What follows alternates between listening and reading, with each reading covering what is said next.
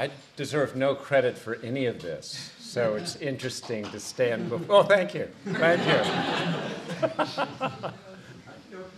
That's the easiest applause one could possibly get. So, welcome to the Land and Waters, uh, are speaking Indigenous views on climate change.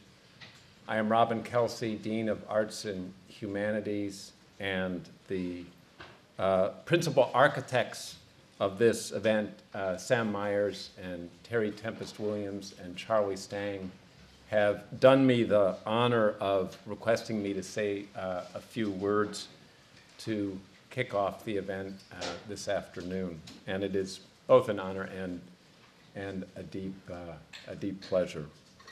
The event is part of the Constellation Project here at Harvard, a collaboration between the Planetary Health Alliance and the Harvard uh, Divinity School.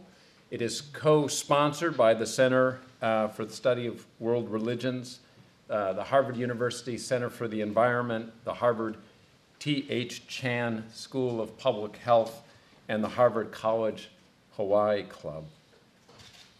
Not so long ago, uh, this constellation of Harvard entities coming together on a common enterprise would have been unthinkable. But anthropogenic uh, climate change is an issue without borders that seeps into every corner of everything uh, that we do.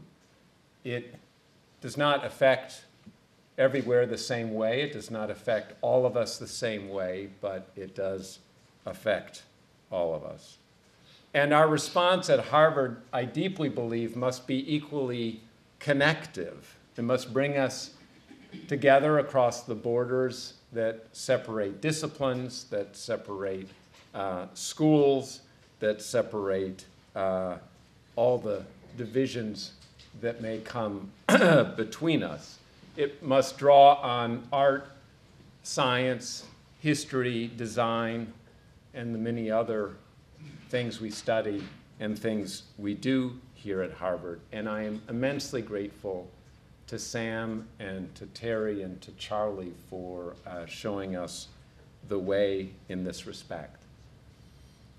The land and waters are speaking. Will we listen?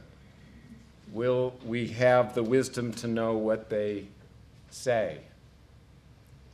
At times, it's hard to feel hopeful in the face of such questions. At times, it's hard to feel hopeful that we will even take the time to listen as our devices buzz and our screens flash, all calling for our attention, as we, especially at Harvard, go through our days filled with one activity or another, it can feel that we live in a world designed, and indeed, in some ways, it has been designed to distract us at every turn so that we do not listen. And one of the reasons that I feel so hopeful this afternoon is that we are taking a moment to listen, and not just to listen to one another within Harvard, which is one of the meanings of the Constellation Project, but also literally as constellation, bringing stars together, not just from within Harvard, but outside it. And I think uh, it's a moment in which Harvard is called upon, in many respects, to turn itself inside out, to listen to voices that have not historically been heard in this institution. And I find tremendous hope in the younger generations, the generation of our students, who are calling upon us to listen to voices that have too long been unheard in these rooms and in these halls. And I have to say, this afternoon is an event that gives me great hope. And it is no surprise to see this room filled to capacity, but it is also a reassurance that when we have these opportunities to listen, that we will indeed come together and open our ears and our minds and our hearts uh, to what uh, those who have been welcomed into our midst uh, have to say. And so um, those are my opening words. Again, uh, I welcome you. Uh, others will be introducing the speakers, but um, thank you so much for coming and for being a part of this special event.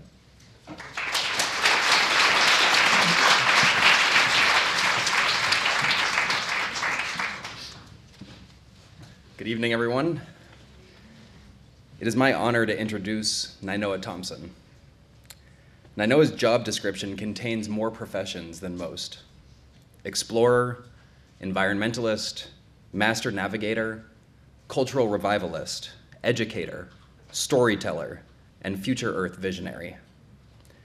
Through his rediscovery and revival of the ancient Polynesian art of navigation, he has awakened a new generation of people committed to embracing their, their ancestral and maritime heritage and reorienting their relationship to the sea. Nainoa is the first native Hawaiian in 600 years to practice the ancient Polynesian art of navigation. The long distance, open ocean voyaging on traditional double hulled canoes without the aid of modern instruments. Nainoa and his crew would navigate using the stars, the wind, and the flight patterns of birds as guide. These voyages can be seen as sailing against the tide of colonialism and westernization, and a rejuvenation of Polynesian pride. Currently, Nainoa is the president of the Polynesian Voyaging Society, a nonprofit research and educational organization. In this role, he recently completed a four year voyage around the world on the Hokulea, a traditional voyaging canoe. Through these travels, he, he and his crew engaged with thousands of people including world leaders, to highlight the importance of ocean resources, cultural legacies, and the ownership we must all feel to protect all of these critical places for future generations. I was fortunate enough to sail with Nainoa very briefly on the Hokulea, and so can fully express how powerful this movement truly is. Nainoa is a hero of mine, which is perhaps why I'm a little bit nervous introducing him. But truly, he's a hero for his exemplary integration of traditional principles with modern scientific knowledge. We, as an academic community, have so much to learn from him in how to rethink our place in the world. Mahalo nui loa, pupukai olomoa. Thank you very much, and let us move forward united.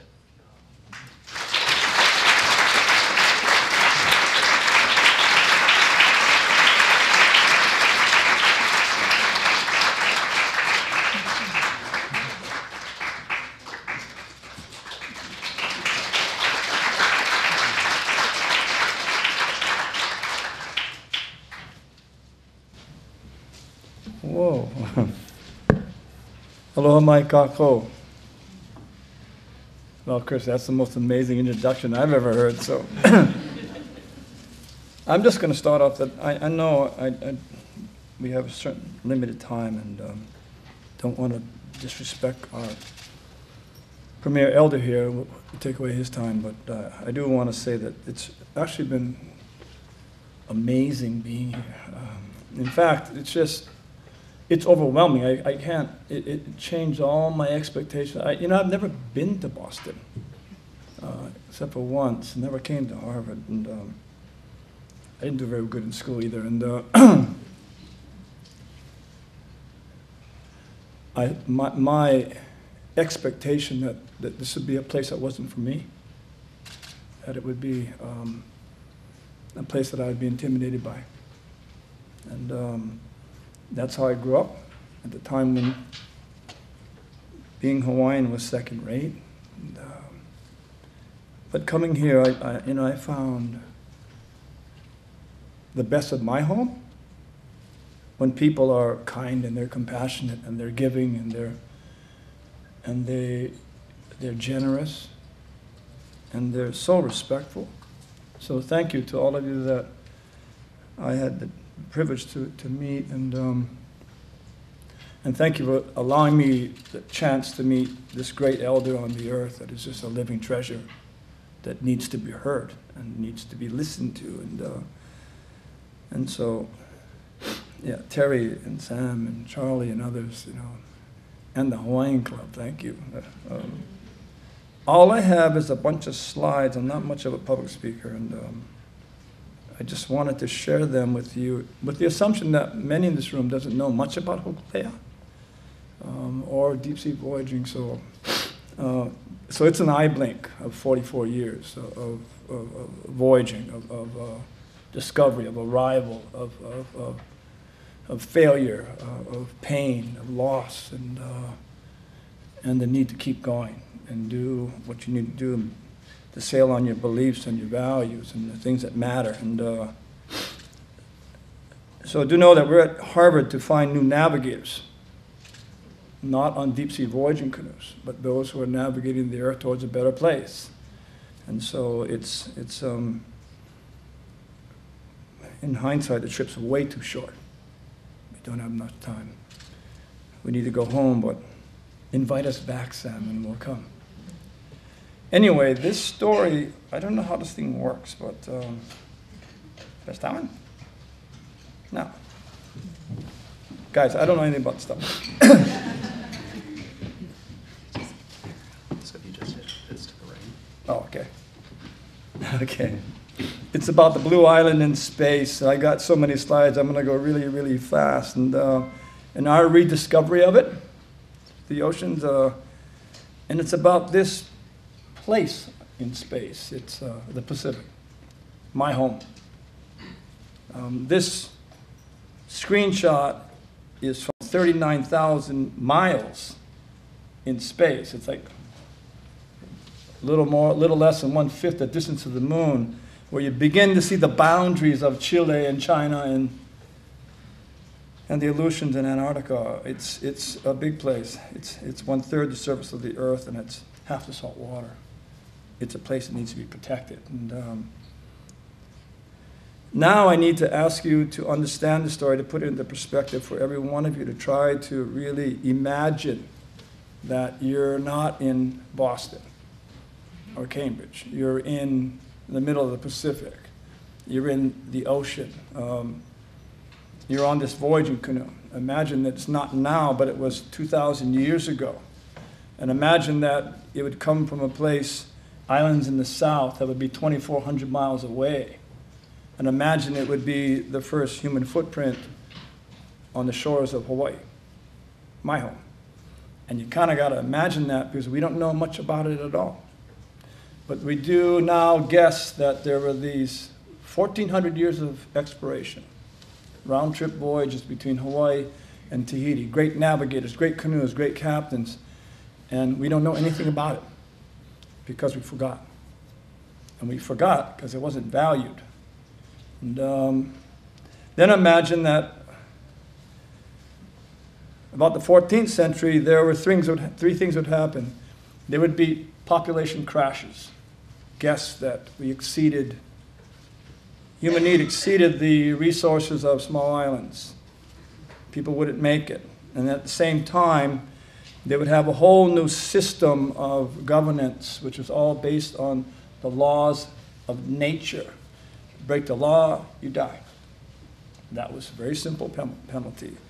And for that next 300 or nearly 400 years, um, we know by reading the journals of Captain Cook that when he arrived in 1778, um, that this, the description of a healthy people, a strong people, that they had enormous capacity to grow foods, um, that they were, they were very high in the ability to have e- enormous kinds of art forms. And, um, and um, it's a very different description than it is today.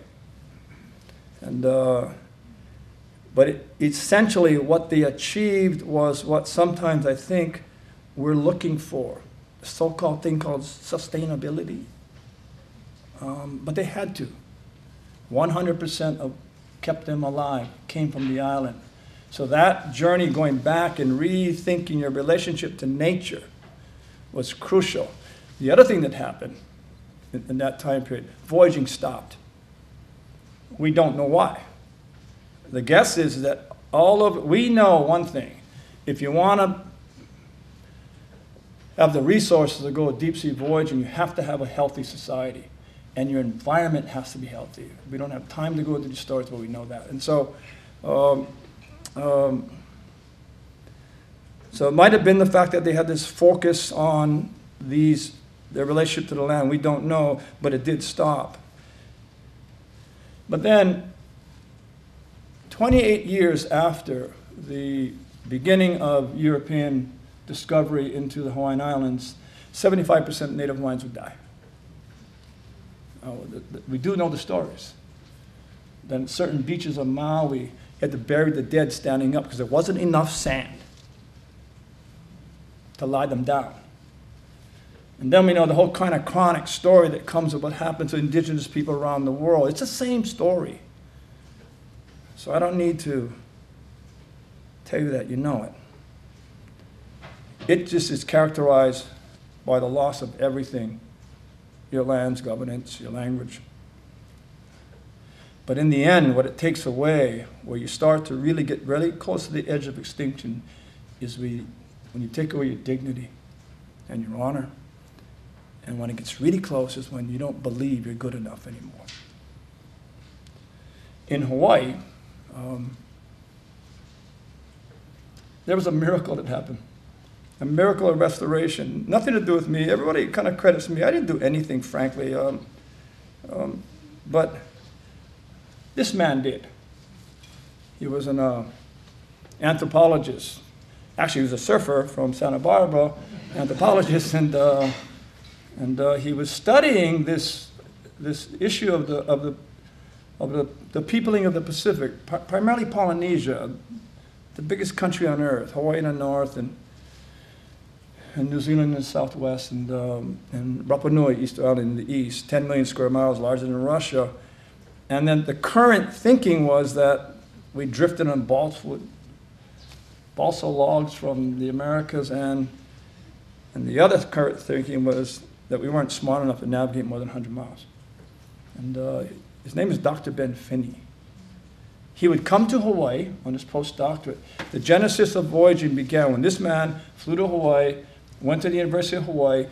A lady came, searched him. Her name was Katharine Luomala. And she was a professor, and you can count the professors that were women on one hand. And she would come, hand him two books, and say, Read these books, they're wrong, and change it. One book was, um, was Kon-Tiki by Thor Heyerdahl. I knew Thor Heyerdahl, and uh, great hero of mine, but think he's wrong. Uh, that we suggesting it came from the Americas, and, and that, that, that book that he wrote would, would develop the worldview of, of the Pacific people, because it was the only story. And then there was another book by a, a world famous uh, anthropologist by the name of Andrew Sharp, who claimed, no, no, no, they had sailing canoes, we know that, but they weren't smart enough again to sail outside the sea, find islands more than 100 miles. And so Ben took the books, 1958, and it would take a decade for him to make a telephone call to this man. These are our heroes. These are our, the revolutionists. These are the ones, Sam, that really allow us to understand that renewal is possible. And uh, he wasn't in Hawaii, even though he's born there. He was an artist. He was a sculptor. He was a painter. He was a, he was an, he was a, he was a he was a historian, and he did great research. And Ben knew, and he because because Herb Kane, Herb Kane, this man, wasn't in Hawaii. What if Ben called Hawaii? Even if somebody answered, they wouldn't know what he's talking about, because none of us were ever had, knew anything about our culture, where we came from, and we come from the legacy of the great navigators. We didn't know because it wasn't in our schools, it wasn't valued enough. This man was in Chicago, and they talked about the idea of the restoration of culture to, re, to restore pride and dignity back to Native people. And their, their, their theory was build a voyaging canoe. And in that process, what they started to do in the research, this is the Polynesian Triangle, Hawaii, New Zealand, and Rapa Nui, uh, 10 million square miles. It's um, three times the size of continental United States. Uh, If you exclude politely the land of Aotearoa and add up all the total square miles, all the rest of the islands, you can fit it into one third the state of New York. This is oceans, 600 times more water than land. And all these islands were, were discovered. Nobody knew the how. How did they do that? And so we, and if you really start to do the research, National Geographic is going to do a story on America's, um, Polynesia's uh, voyages to North and South America. Native Alaskan Haida Indians are genetically, clearly Polynesian, have some Polynesian genetic makeup. And uh, if you go, and in our travels, you're finding that they, they, the evidence is there. They went to South America. We know they went to Australia. We know they went to Micronesia. We know they went to Melanesia. And if you go around the screen to the other side of the world in Indian Ocean, the island called Madagascar, it's the same root Austronesian language that it is in Hawaii. That's 15 time zones. They were global. And so, how did they do that? And the only way to figure it out was build a voyaging canoe. And um, this was a day before launching uh, from the sacred beach of Kualoa on the north side of, um, of, of Kaneohe Bay. And um, I was there. And, um, it was a confusing time of something elegant, powerful, and inspirational, but how could it be Hawaiian? Sitting on the beach. There were those that prayed for this canoe. There was those that didn't care. And there were those that feared the success of this canoe. It was going to change things. And um, make a really short story. I was there by just by chance, just helping out, and we sailed it for the first time the next day. Sam, you know what happened? We had these two skinny steering sweeps. We didn't know how to tie knots for the sheet lines, so we just kind of strapped the sail down. We sailed off, went aground on one of the sandbars. We had 35 people on board. The captain told everybody get off and push the canoe. We didn't unsheet the sails. It was full sail, stuck in the sand. Can you imagine that on the sandbar? We all got off. The canoe lined up, started sailing by itself, just a captain mode. And there were a few of us who could get back on and, uh, and try to help the captain do something. We didn't know what to do. And, um, and I was like, whoa, this is going to be a long voyage. We can't even get out of the water. But what it, it started to tell us is about how much we don't know and how dangerous that is when you go to sea. And, um, and how much we didn't even know how much to know how much we don't know. And um, it was a scary time because they, they were co- committed to going, but they didn't have the navigator.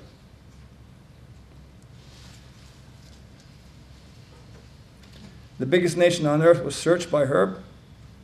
Couldn't find a single deep sea navigator left on the planet. We know what extinction feels like. We can smell it. And, uh, long story short, we, they, leadership, found this man. Not from Polynesia, but from the tiny islands of Micronesia. At a time when um, the traditions were still intact on some of the islands. And at that time, there was six navigators that, of master rank. They were graduated masters by their culture, by their traditions, by their families.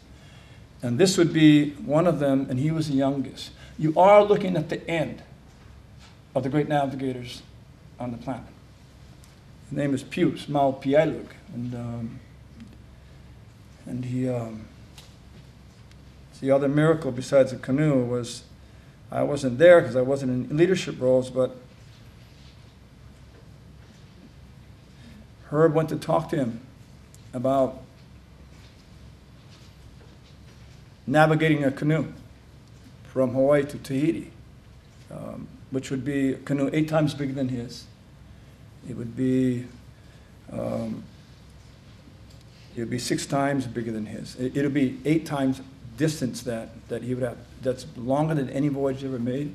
He would cross the equator underneath southern stars he's never seen and lose the primary northern stars, like the North Star. And then he would be on a canoe that wasn't constructed and a crew that wasn't selected. And um, I heard that he just said yes.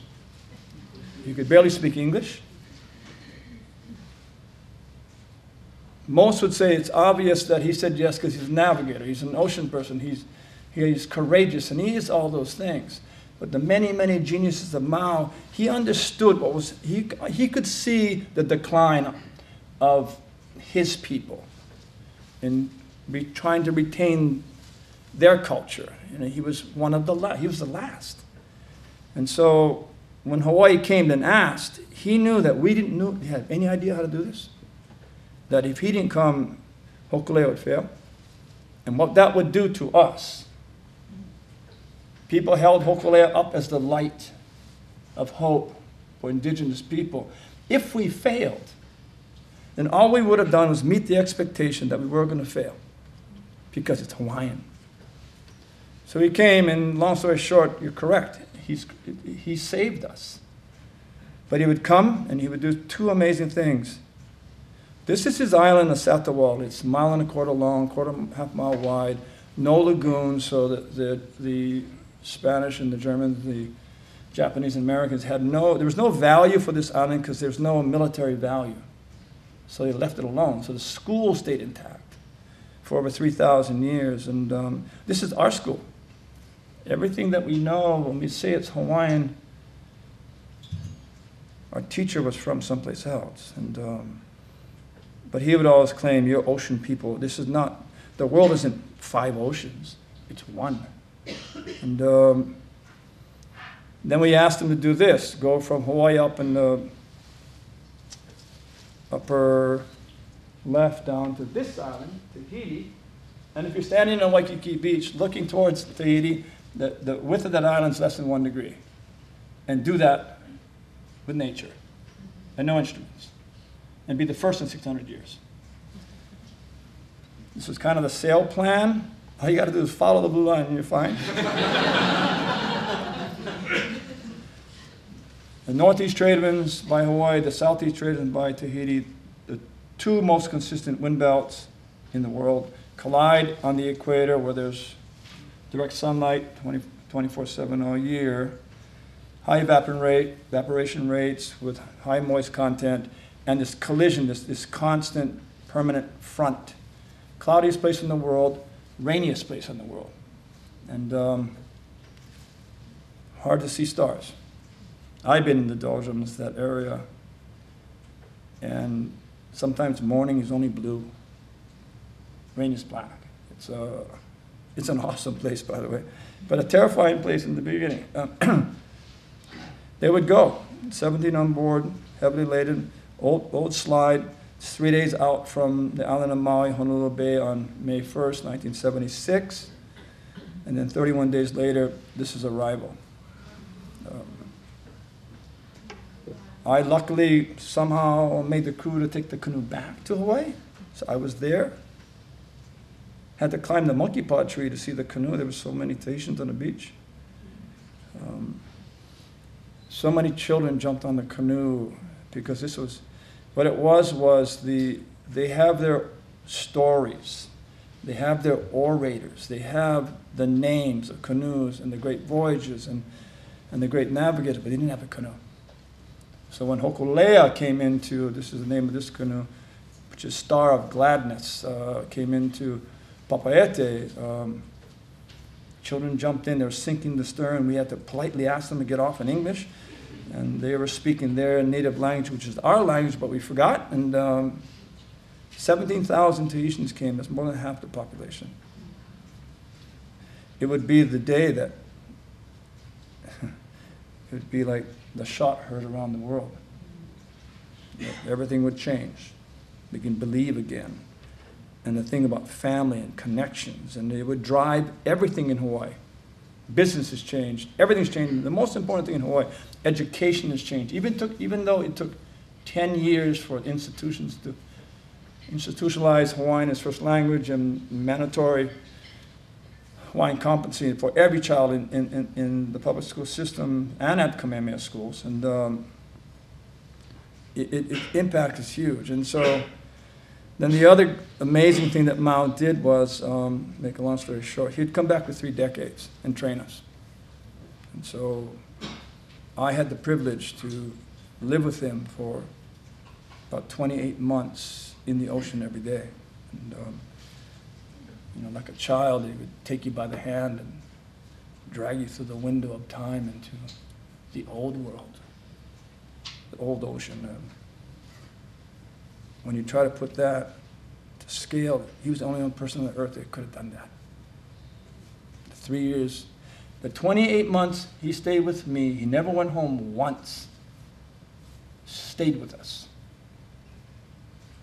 My mother asked him the day he was going to go home after we sailed all the way down to Tahiti, we sailed all the way back, and he's going to go home. This is when we were trying to navigate and learn. He was on board, and my mom goes, "How come, Mau, you come back to Hawaii? You said you weren't going to do that, and then you stay and teach Nainoa." He just goes, "I look at Nainoa. He comes see me in Micronesia. I look in his eyes. I know he's going to go. If I don't come, maybe he'll die." And so, we know what it is to be a teacher. And, um, so he just prepared us and helped us learn and grow over 30 years. And, then we would sail many voyages. Um, my first voyage, this is just a story about what I think is a story. There's many, many, many, but this one's important. We sail all the way down to Tahiti. We come all the way back. It's about, you know, 2,800 miles. And, I mean, almost 6,000 miles, sorry. And um, Mau's going to go home for the first time. He's packing his little bag at my mom's house. And um, he sits me down and goes, Okay, Nainoa, you did okay. I give you everything, and the ocean showed you everything, but it'll be 20 years before you'll see. And then he said, Because you're too old. I was in my 20s. And, um, and um, he said, You know, my grandfather chose me to be the navigator to go after his father. My grandfather, at one year old, take me and put me in the tide pools on my island so I can hear the bird, so I can touch wind. I can smell the tree and I can smell the sea.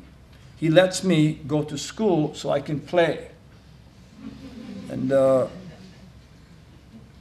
with nature, essentially, to be connected because I know you're too old already. And um, then he said, when I was at five years old, my um, grandfather took some voyaging on a deep sea voyaging canoe. He's five years old now. He goes, yeah, we're going to voyaging canoe, the wave come, lift the canoe up and down. When the canoe go up and down, the canoe make me sick. He's seasick. So my grandfather ties my hand with rope and throws me overboard and then drags him behind the canoe. And he never, ever felt the conversation had any fear in it other than love for his, for his grandfather's teacher. He says, Yeah, when my when my grandfather throw me in the ocean, then I can go inside the wave. When I go inside the wave, I become the wave. When I become the wave, then I'm navigator. Sam, this is what we're talking about in transition of connection. We're talking about connecting to nature. Um, And then we would sail. We knew how to, for, for 13 deep sea voyages through the whole Polynesian Triangle. We went as far north as um, Seattle and down the west coast and as far west as Japan. But we never left the Pacific until this friend, best friend. Uh, he's Keiki Aina, he's child of our land. Born in Hawaii, graduated from Punahou fighter pilot. He's in Vietnam two days, shot down behind enemy lines, crashes in some river and floats down and doesn't die.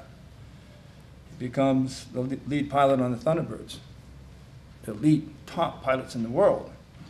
But then he goes to NASA to become Hawaii's second astronaut. And I would love to tell the whole story about him, but it takes too long. He loved Hokulea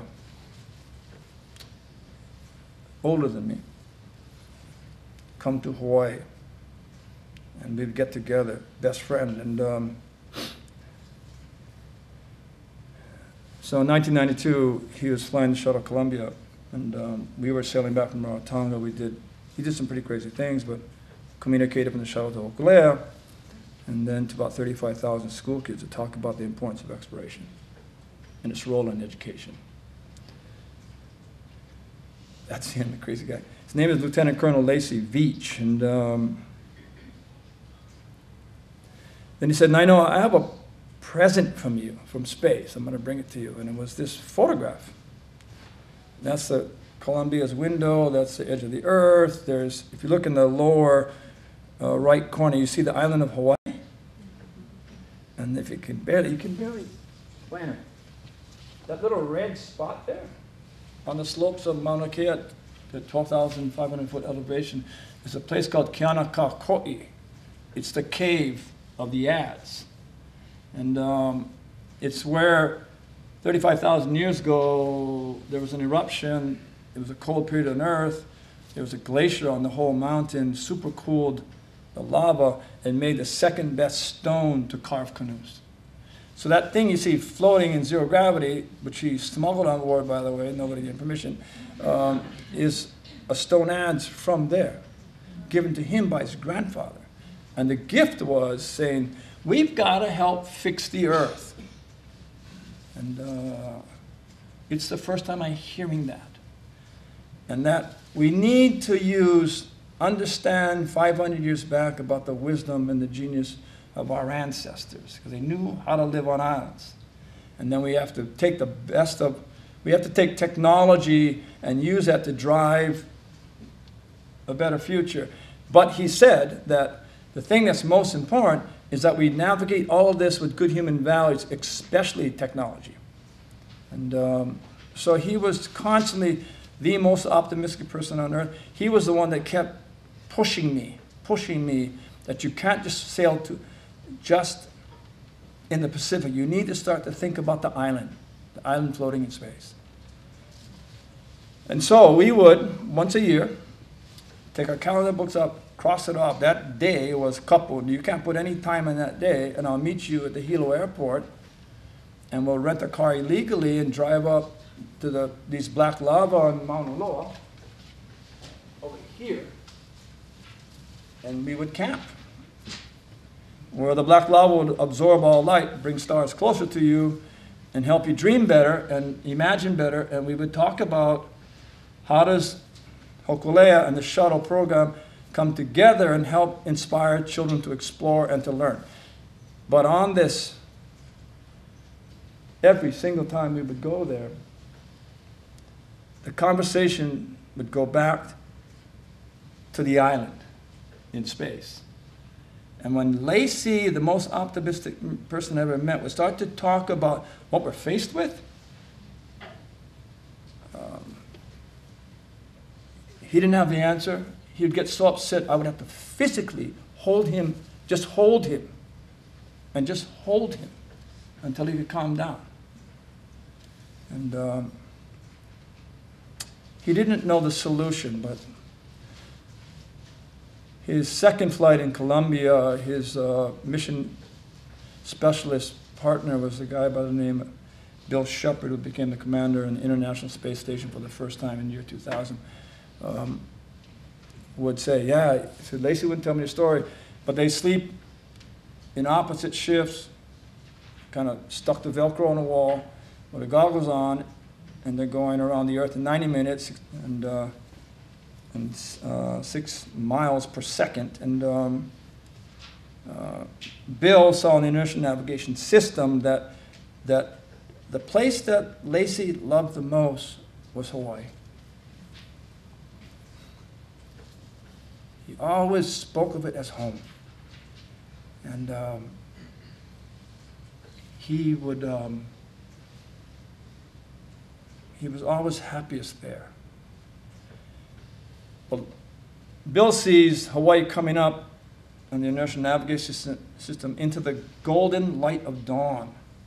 And so he breaks protocol, grabs Lacy, scrapes him off the wall, floats him to the window, takes his goggles off, and Lacy never told me that, but Bill did. He said, Yeah, Lacy just looked outside. He saw the Hawaiian Islands in the golden light of dawn, and he just said, That's it. In a very quiet, non angry way.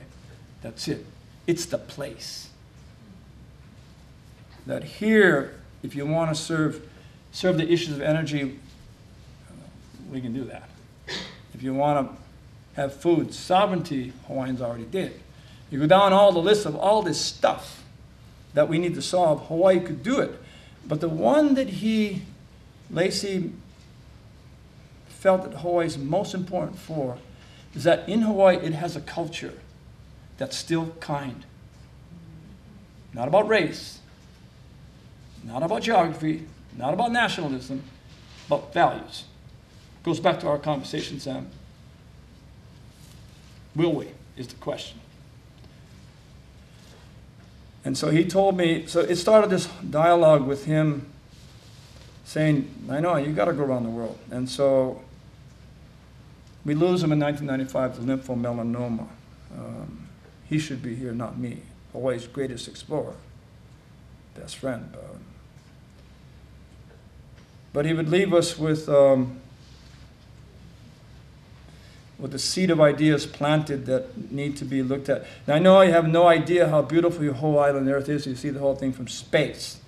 Now, I know you cannot protect what you don't understand, and you won't if you don't care, and you can't do it by yourself. Now, I know sail. Hokulea needs to see the earth. The earth needs to see Hokulea. You need to go find out if, if the human culture on earth, if humanity is still kind enough and willing enough to change. And then he said, You need to build bridges and connections. That's why I'm here. And he, as powerful as he was, from 1992, for 16 years we would have these organization meetings every year of the voyaging leadership. It's on the agenda, this voyage around the world. We would have a conversation about how powerful that would be and how important that is to do everything that Lacy was saying. And then we would talk about the other side. What about the dangers that are going around the world, like the hurricane or the pirate or the mosquito or disease or the rogue wave of South Africa? The list is long. And when we go through that kind of way of looking at the world, we would always vote no. We're not good enough. Until one thing Lacy left with us. He said, and I know, this is right before he was going to die. I was with him.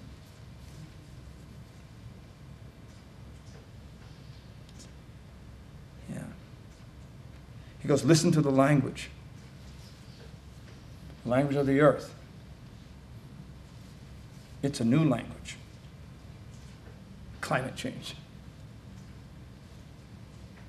sustainability, hypoxia, dead zones, acidification. This new language is growing. April 1st, 2008, the voyaging leadership got together. We're going to put the voyage of the world on the agenda again. But the question is not whether we're going to go or not because of the growing language and, and how loud it was becoming, we knew we had to. The question really was about what's more dangerous the hurricane, the pirate, the rogue wave, the mosquito, or staying tied to the dock. Go nowhere, do nothing. And accept that you knew the language, but you chose to be apathetic and, and inactive and frankly ignorant. So we voted four times and we we agreed to grow. Needed to be unanimous, needed everybody. This is a very dangerous thing to do. And because we knew we didn't know how to do this. And then we would train for six years. Hard. Research and preparing. And um, this is just a Menehune weekend where people would come Friday night, they'll go on into Sunday night 24 7, work and relash Hokulea. This is Hokulea and Dry Dock. We had to redo the whole canoe to meet the requirements of the earth. And uh, we would train, especially young people. Uh, they've got to take over. And um, we'd build another canoe called the Sister Star to Hokulea which is Arcturus. Another star is called Spica that rises, synchronous rising, same time in the east, um, is Spica. And we call it Hikianalia in, in, in Hawaiian. And it was built in New Zealand and launched in September 2012. It's powered by the sun. Sun makes wind, wind drives sails, but we had 240 square feet of solar panels and six lithium batteries and two electric engines. We tried to go around the world without a carbon footprint. Didn't work. Half of it did. Anyway, I know I'm taking up too much time. Worldwide voyage, uh, 37 months, 42,000 miles, 18 countries, 327 ports. It take 322 crew members from, from actually about 18 different countries also. We left, um, basically went west until we ca- came home and uh, around a blue earth. And um, 50% of the time we navigated in the old way, 50% of the time we used instruments. Tahiti was the first protocol, sir, because we had needed permission from our ancestors to go. So we went there first. And uh, Samoa, we would meet with um, Secretary General Ban Ki-moon, who gave us that bottle with a message about a commitment on his side to get the 127 nations to start to protect the oceans. And so we said, we'll, we'll do our part. Aotearoa, New Zealand, we met with 2,400 of the poorest schools network in all of New Zealand. Primarily, 85% are Pacific Islanders, and they chose Manaiakalani School, that's a Hawaiian name for starline in, in Hawaii, to have them know how to navigate. And they're using science and technology. They're linking the two things together to give these children the ability to sail anywhere in the world they want, but they always know where home and they can do whatever they want because they have an education. Australia, we met these young people that are a network of 320 schools. Australia told me that there's something there that really is clearly can say this is why we have schools. What's the purpose of schools? The purpose of these 320 schools from, from K to 6 is to do one thing protect the ecology of, of the oldest and largest single ecological living system on the earth called the Great Barrier Reef.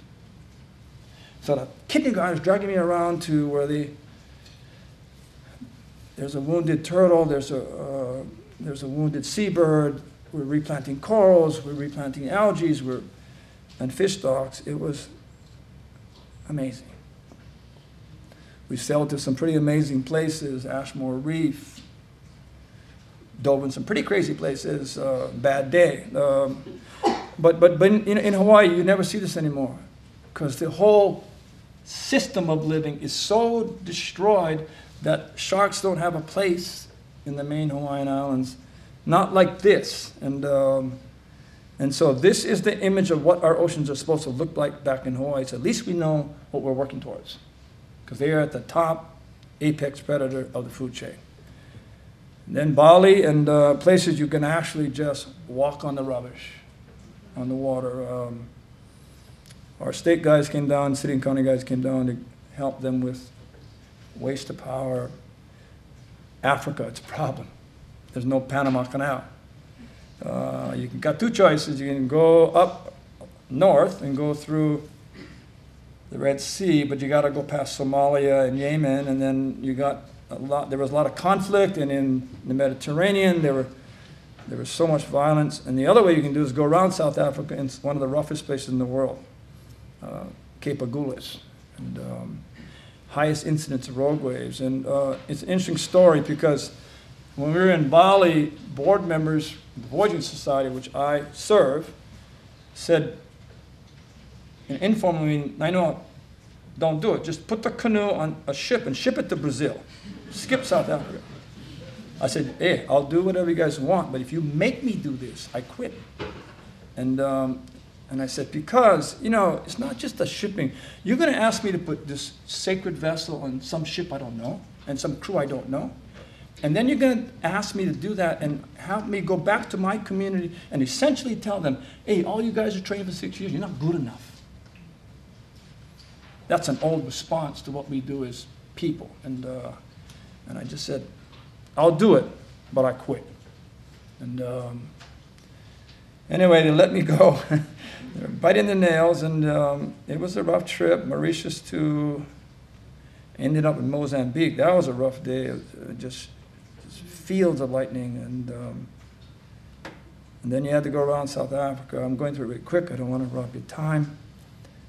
Uh, around Agulhas Point, where there's it's where the emergence of the South Atlantic big swell and the strongest western boundary current, and there's gale force winds, those three ingredients that build waves that are big enough to break 900 foot tankers in half. And, um, you know, we would pull in, took us, took us 61 days to go 900 miles. It was the longest voyage, but the shortest distance. Because we kept hiding from these cold fronts. And, um, and it be- became just a voyage. I'll never forget that interaction and connection with South Africa. And, um, Going around Cape Agulhas was like Avatar. There's so much richness in the water. From there on, all we saw was the superpods of humpbacks. 200 plus whales per pod, all the way to Cape Town. Cape Town, we arrived, in um, 2013, Archbishop Desmond Tutu came to Hawaii to bless Hokulea and made the commitment, even though he was sick, that if you make it to Cape Town, I'll come see you guys. And uh, so here he was. He was brought in November 15th, um, 2015. And um, brought in a van, a tent, a couch. He was fully clothed with all these jackets and a hat over his head. And they put him in there and he lay down. He was sick and he's never made a public opinion, opinion appearance the whole year. And they, they were apologizing, say, he's not going to speak today. You know, we're just honored that he's here. And, uh, and uh, so we're speaking, and there had guests, people were speaking, and all of a sudden, what happened was we had our school kids from public and private and charter schools there, and they had their drums. The African kids, they got cracker cans. They don't have drums. But some girl, African girl, went over to one of our Hawaiian girls and said, Can I borrow your drum? And while we're having this, all these public speeches, that girl starts beating the drum. And then the African girl, children jumped up and they started dancing in the streets. And while we're trying to give our speeches, this is all going on behind us. And, um, and they grabbed the Hawaiian kids, pulled them into the circle, and then I'll never forget. Um, I don't remember who, but he says, no, no, you need to turn around. Grab my shoulder, turn around. And that's when Archbishop Desmond Tutu was too ill to stand up, was dancing with the kids in the street. With the Hawaiian children and the African children, and um, it was the day that, after all the stress and the strain of wondering if this trip is worth it, that I knew it was that moment. Entry into America wasn't in Miami. We chose to go to the Everglades. The Alligator was more important. Um, it was a, we, our question, Sam, was what's going to be the first picture? You want it of some expensive yacht club? Or do you want it of nature? We chose nature, went to NASA, saw where Lacy lived, went back to New York, gave the bottle back to the Secretary General. Went all over the place, up to Nova Scotia, went up the Great Lakes, 62 locks, it was wild. And then we went through Panama, we entered the Pacific Ocean again. And the first island we went to was the Galapagos. And, uh,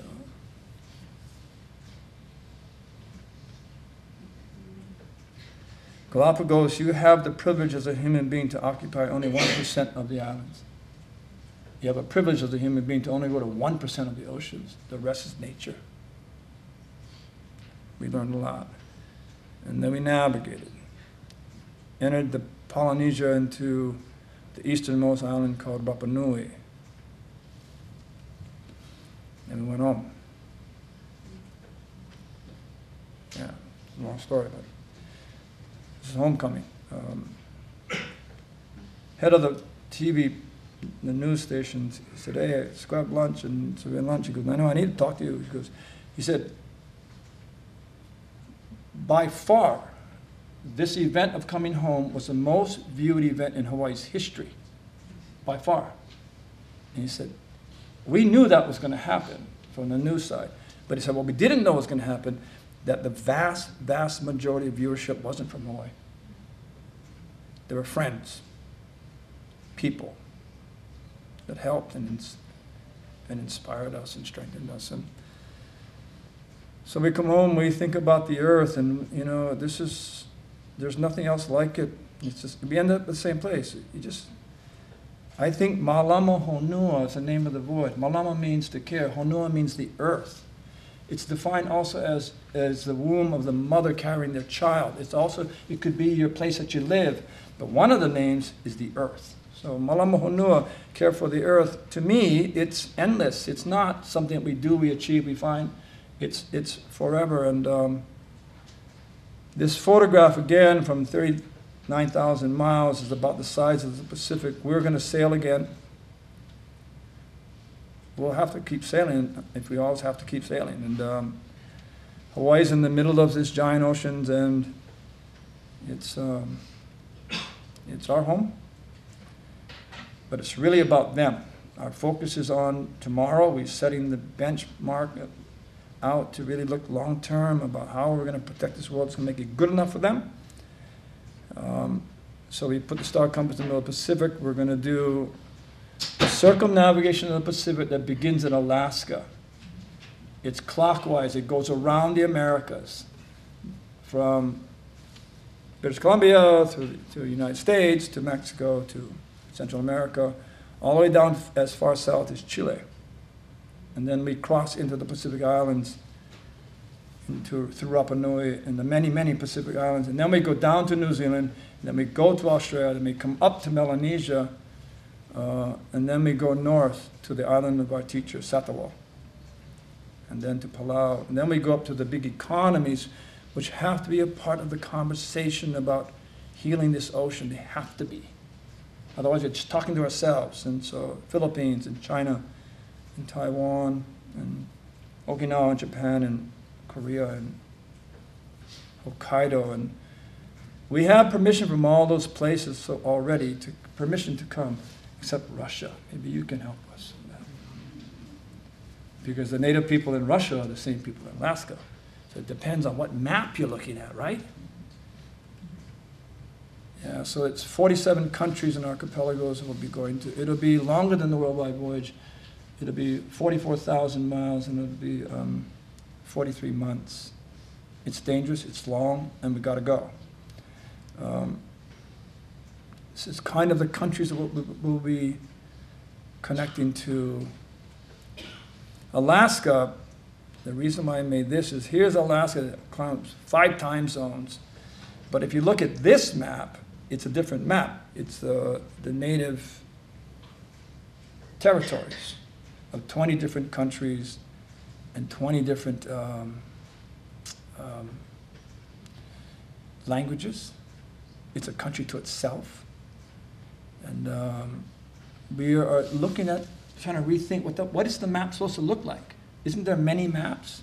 So this is just a picture of the one route of one leg of the 35 legs that we're going to take and um, along Alaska. And um, I'm going to try to stop it on this next slide, but um, I'm going to end here.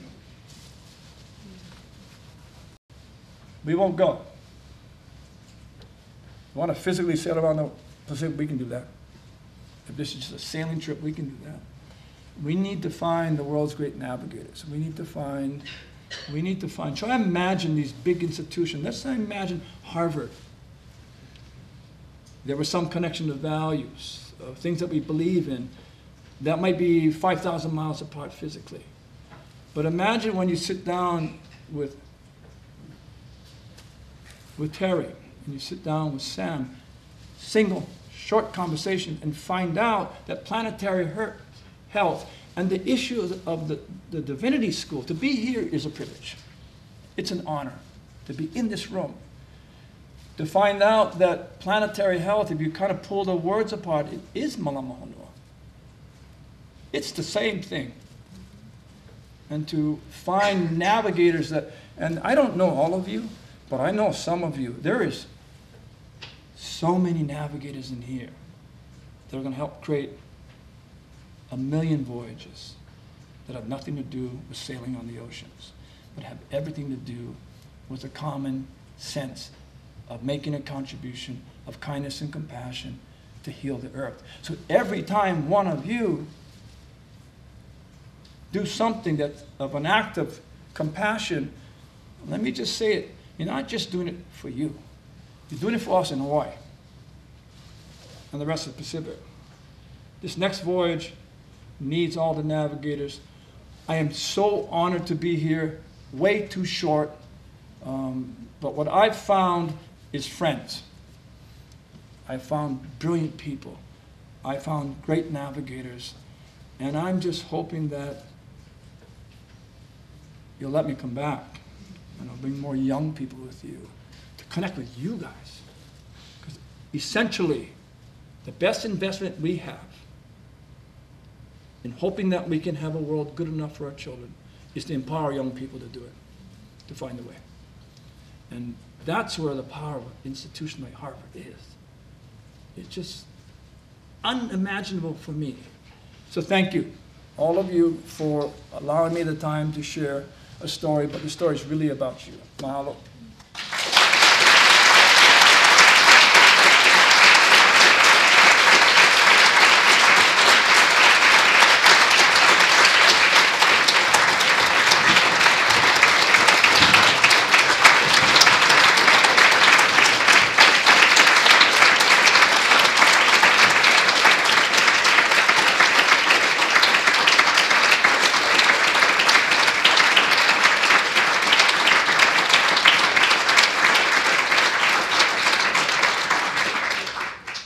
Thank you.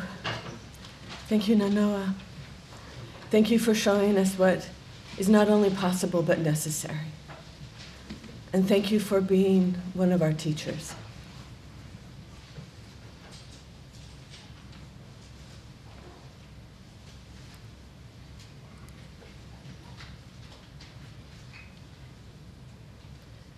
Dean Kelsey, Dean Hempton, Associate Dean Gyatso,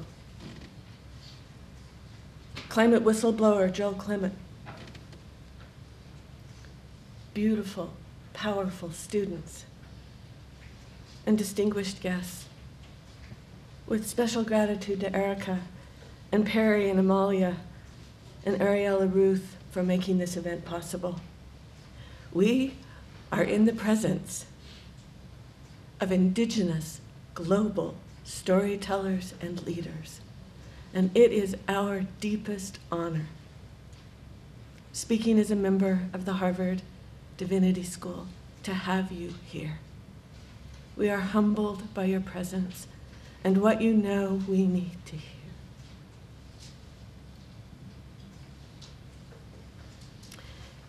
These storytellers, native elders, wisdom keepers, have a fierce sense of home in the water, on the ice, as we, as we have experienced with Nainoa. The waters are rising, the ice is melting. How shall we live? That is what you asked me, Uncle.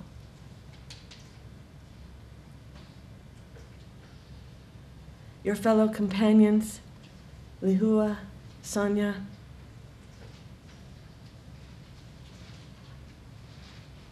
Judy, you remind us the importance of being connected. And to you, Uncle, welcome to this community of seekers. We are listening, we are learning, we are struggling, and we are changing. It is my great privilege to introduce you tonight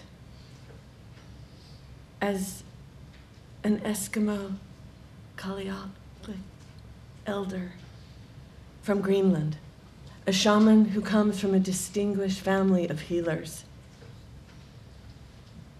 Uncle is a global teacher who carries ancient teachings and shares them in modern times. Uncle's been invited to 71 countries, most recently, Italy, at the personal invitation of Pope Francis. wanting to know how shall we live, wanting to know what it's like to have the ice melting beneath your feet. He sought out Uncle, whose family has lived in Greenland for 5,000 years. Uncle knows who he is. Nainoa knows who he is. Do we? Uncle's mother gave him a task to melt the ice in the heart of man. The last time Uncle and I were together was in the spring of 2017, and I had just received an invitation to come to the Harvard Divinity School as writer in residence. I sought Uncle's counsel, and I asked him, What is the question I should ask? What is the question I should take with me to study while I'm here? And he said, What are the spiritual implications of climate change? And how shall we live? And you'll remember, Dean Hempton, when you asked me, What is it you want to study? What I didn't tell you, it was Uncle's guidance. What are the spiritual implications of climate change? I am living and struggling with that question, Uncle, and I have not forgotten my promise to you. Thank you for being my teacher. Thank you for coming, Judy. Thank you for accompanying him. Thank you for making these connections and reminding us what we have forgotten. To bear witness to the beauty and destruction of our planet is not a passive act, but an act of conscience and consequence. Uncle is carrier of the Qilaut, the wind drums, and is a spiritual leader of planetary consciousness. It is with great respect and deep affection and gratitude to welcome you to our community. Please welcome Uncle from Greenland.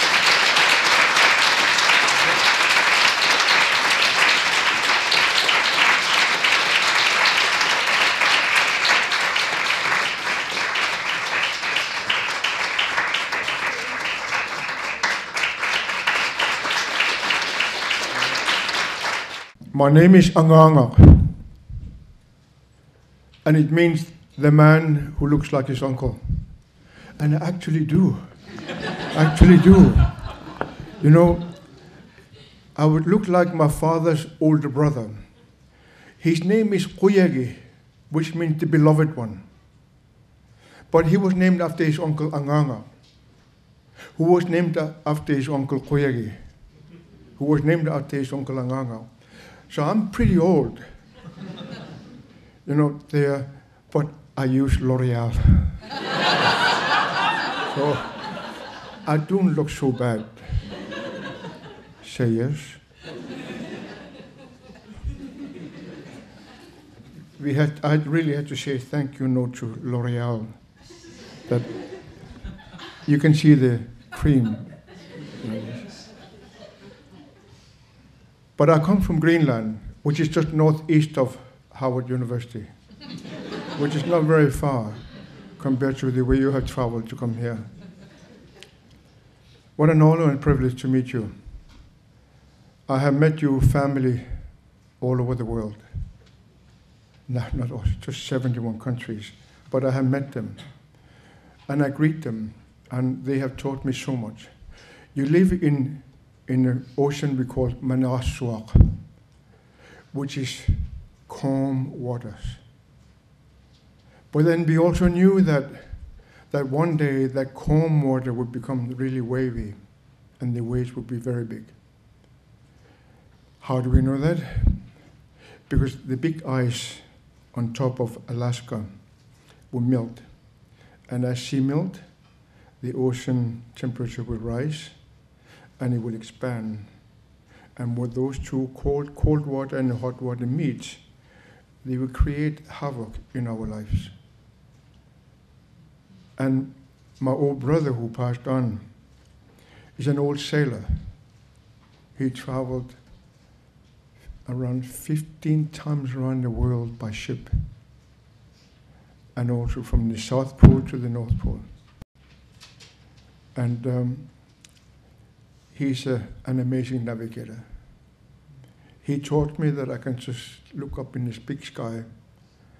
I know exactly within a few kilometers where I am on Earth. So I'm really thankful to him. He would have loved to meet you because you are a person of the ocean. Me, I'm a person of the land. And Greenland, I don't know if you knew that, but she's a pretty big island. When you put it to the North Dakota Manitoba border, it goes down to South America. And then when you put it into Oslo in Norway, it goes down to the middle of Tunisia. So it's bigger than Boston. Boston is a very big city, but Greenland is bigger. So, so that's where I come from. Yes, my family had lived in the same village for more than 5,000 years. It's my father's mother's family. And just recently, UNESCO recognized the importance of my grandmother and made the land heritage land for generations to come. And then soon after, her niece, my great aunt, who's going to be 92 in October, said, My son, now it's your land. I was, what do you mean? I can no longer walk. You can walk. So now it's yours. Can you imagine that I have a piece of land which is about 500 kilometers long from east to west? Almost the same size of Holland.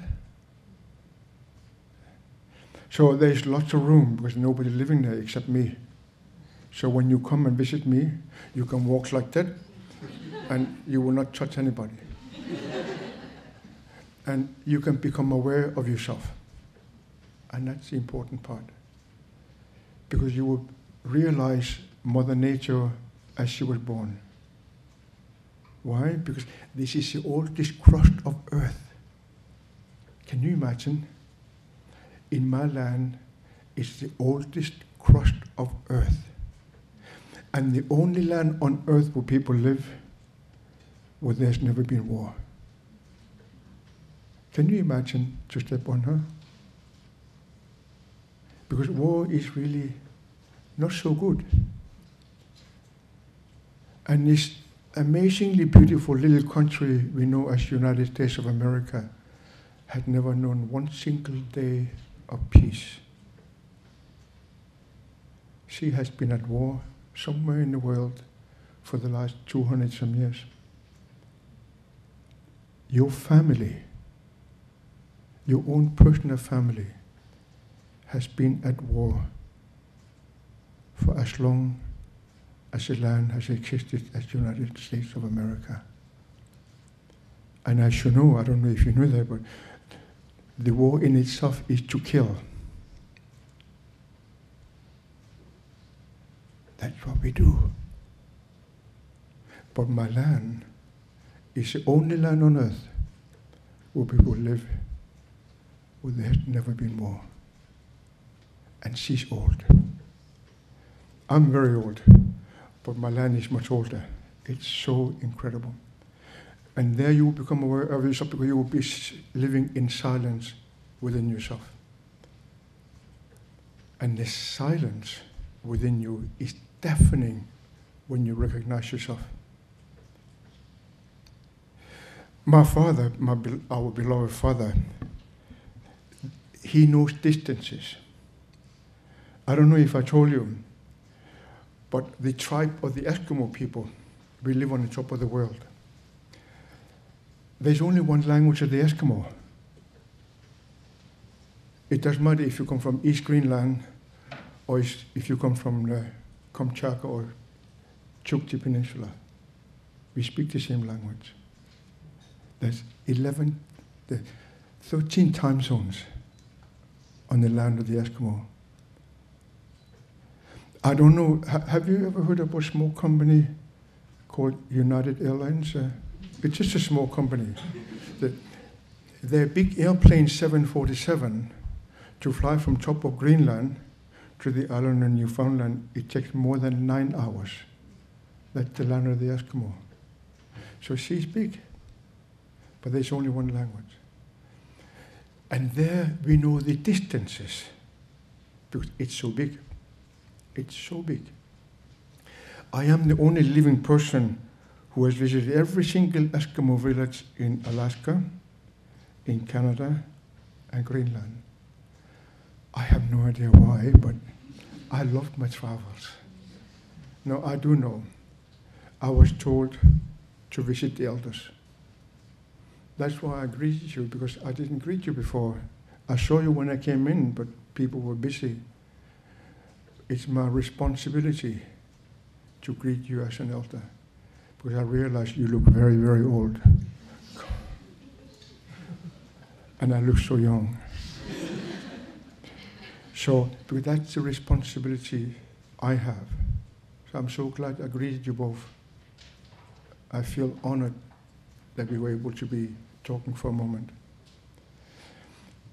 Where I was born, we have a big ice. It's really, really, really big.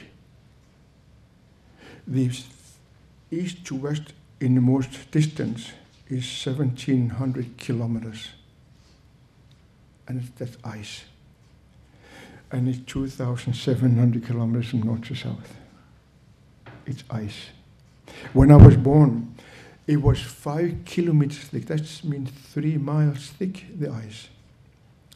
It's amazing what has happened now. Now, 2019, the sun, you know that there's no sun in the winter in the north, right? You don't have to go to work because you can just sleep all day long. And um, now the sun comes up four days early. Can you imagine that we now have sun four days early? Our sunshine has increased tremendously. Why? Because the big ice is so now so low. It's only now two kilometers thick from being five. So, what caused that thing to melt? It's so interesting. In 1963, I was just a young kid, and um, in winter we rely on seals and whales and a little bit of fishing. But it's difficult to traverse these oceans with so much ice. So when chance comes in the wintertime, there's, you, we used to have winter hunt. We could hunt the caribou and the musk oxen. So two young men went hunting, and um, it's about 300 and some 50 or 70 kilometers to reach the big ice from the coast. It's a fair distance. And because we grew up knowing that I am supposed to be, you are supposed to be caretaker and the custodians on Mother Earth, what on her and within her. That's what you are supposed to be in Boston. You were supposed to be the caretaker and custodian of Mother Earth. But that tradition, that ceremony, we lost in Boston. We don't do that anymore. Back home, we still do. And every hunt, can you imagine the big wall? It's 1,500 meters tall. Just a wall, one of the many, many, many fingers. The big ice he's held, who's holding our land with many fingers. And that wall is just like this wall here, except she's, how many feet is that? 1,500 meters times three. My math is not very good. I never gone to school, so how many feet is that? Four and a half thousand. Four and a half thousand feet tall. I'm a very tall Eskimo, as you can see, but that wall is bigger than me. But when you go there after the hunt, you go and say thank you to the great one. So people will touch in thanking the great one. I, I, I think you call him God. Is that true? That's how you call him? We don't have the word God in our language, so we call him the great one. So we thank him because he trusts us to be caretakers and custodians of Mother Earth. It's a big responsibility. So we thank him for giving us that trust. So they did. And they looked up there, way up there, and the water was trickling down. That was January of 1963. Now, in Kangerlussuaq, the big airport of Greenland, that's where the American airbase used to be as well. It would be at least minimum, at least minus 35 Celsius for three months. And as you know, in science, anything below zero Celsius will freeze solid. But three months of minus 35, the big ice was dripping water, liquid water. So it was a phenomenon unheard of. So they went home by the dog sled and then and they told the, the old people, the elders, you know, it's just a strange thing happening. The water was trickling. And the old people did not believe these young men. They thought that they've been drinking beer at American Air Base. You're very lucky in Boston you don't drink beer because when you drink beer, your mind goes a little crazy. So the old people thought that they'd been drinking, but they said, no, no, no, no, no, no, we didn't go. In the month of March in 1963, the elders themselves went hunting. And just like everybody else, for thousands of years, they go to the big guys and touch the wall in uh, awe of being caretaker and custodian for this earth. And they looked up, and lo and behold, the water was still trickling. It's a phenomenon we never heard of.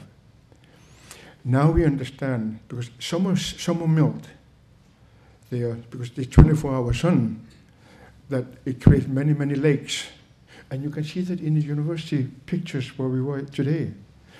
That some of these lakes are more than one kilometer deep, more than 3,000 feet deep. If you throw out the quarter, you can see it tra- traveling down to the bottom, and you can still see the coin at the bottom. That's 3,000 feet. You can do that. I didn't throw away too many quarters because I needed them. So, so, so that trickling was coming. What happens is in, in the summer when the lakes are created with the 24 hour sun, but as you know, water is living. It's a living entity, just like you and I, we have a life. And we consist, most of us are of water. So, and he would find cracks in the ice and go so far deep that the cold outside cannot reach it. So it remains alive, not frozen. And because it is a living thing, she will find other cracks to move through. And it comes out of the wall and drips minus 35 Celsius for five months. The water was still moving. That is a phenomenon today, you and I, we call it climate change. That was 1963. I was just a young man, a teenager. And 15 years later, I had become the runner for my elders. There used to be runners here in uh, Maine or Massachusetts. Where are we?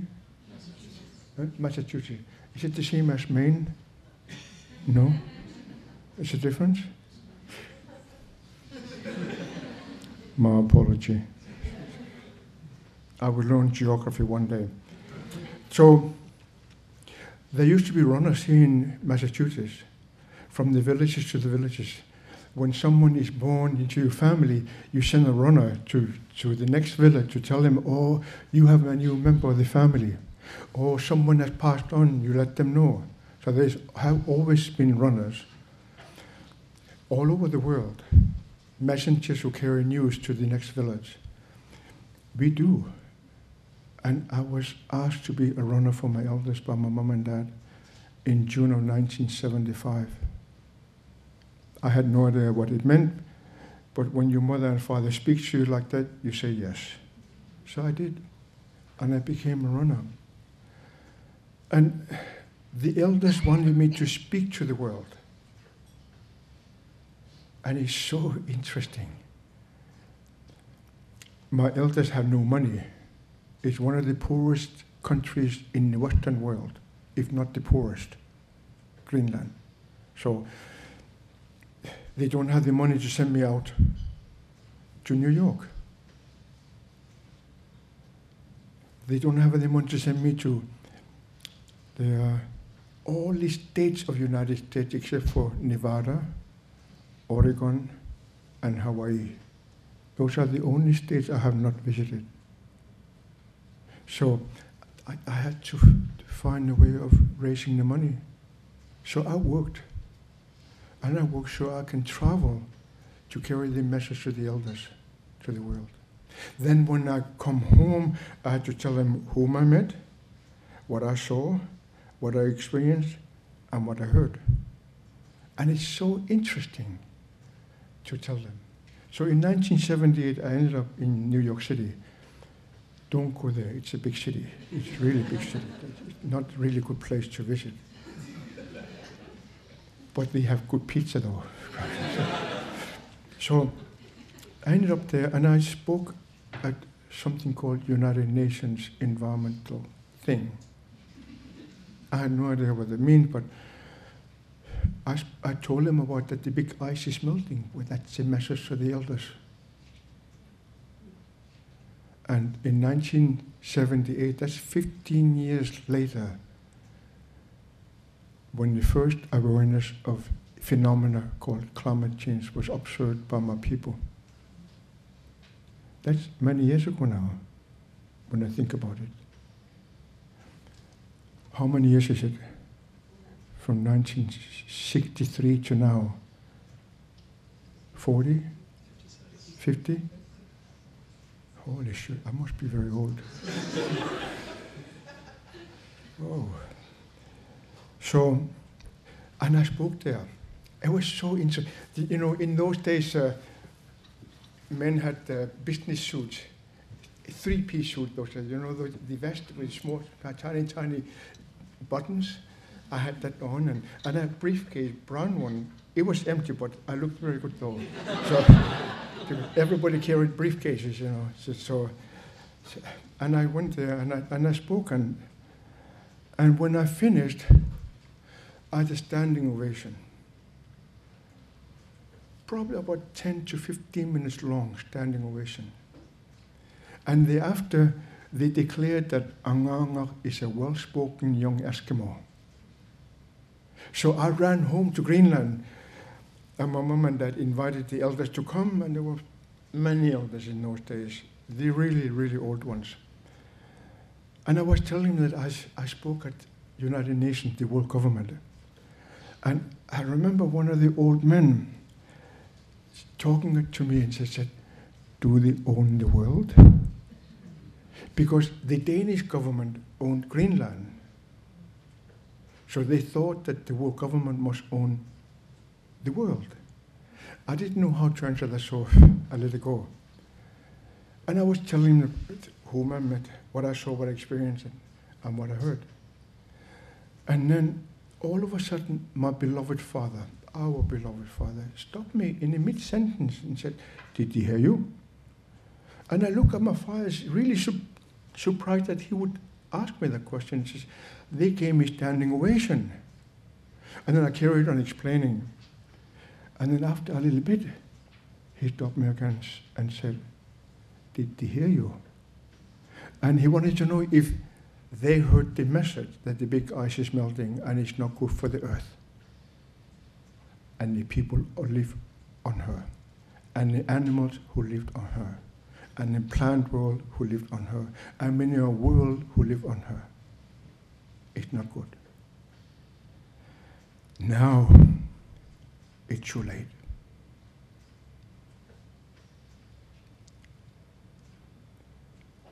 I never gone anywhere on earth without being invited, but that's the instructions I have.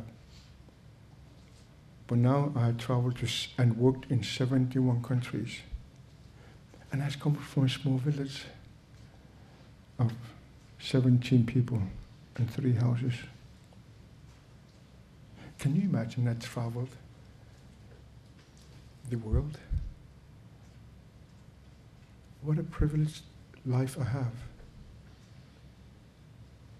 One day I ended up in the Rio de Janeiro, Rio de Janeiro on United Nations mission.